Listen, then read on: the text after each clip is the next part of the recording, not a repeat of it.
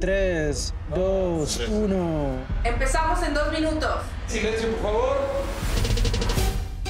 Existe un estereotipo que la gente mexicana somos muy sentimentales.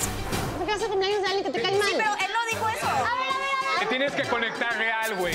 Obviamente es verdad. Nuestro círculo social es muy chico. Todos nos conocemos. Oye, está tomando y se mete con el toro. Si lo matan es su problema. Tengo muchas broncas en mi vida que van a salir. Tengo una puja de 35 mil dólares. Ese es el castillo de mi abuelito. Llevo muchos años modelando, pero Es muy contradictorio a lo que yo soy aquí adentro. I have a fashion blog. The aspiration I give off is the life of luxury. Los rumores corren muy, muy rápido. O sea, quién está con quién. Pepe y Robbie están peleando por mi atención. No sé qué hacer. ¿No te quieres casar conmigo? No sé, es lo que no sé.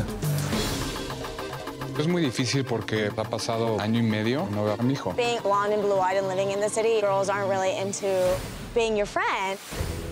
Esta amistad, para que sepas, ya está dañadísima. Vámonos, no es el momento, no es el momento. Somos de sangre caliente, somos latinos. Sentimos mucho y es bonito.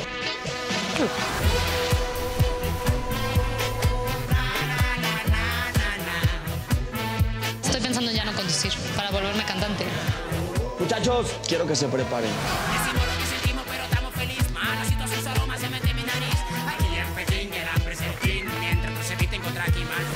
El ser mexicano es qué chingón.